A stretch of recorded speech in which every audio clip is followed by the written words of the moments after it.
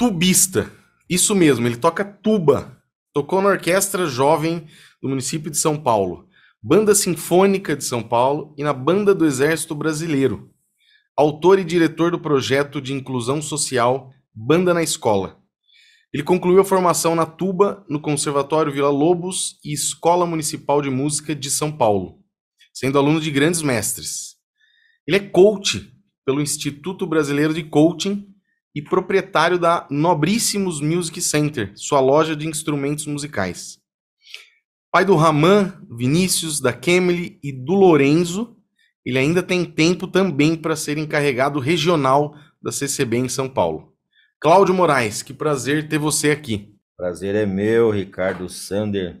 É, assisto aí, acompanho o teu trabalho, então é uma honra estar aqui. Obrigado, prazer é meu. Demorou para a gente conseguir casar a agenda, como todo mundo, né? Como a gente chama Verdade. sempre, o pessoal muito importante aí, é difícil de casar a agenda, mas sempre dá certo. Mas vamos lá.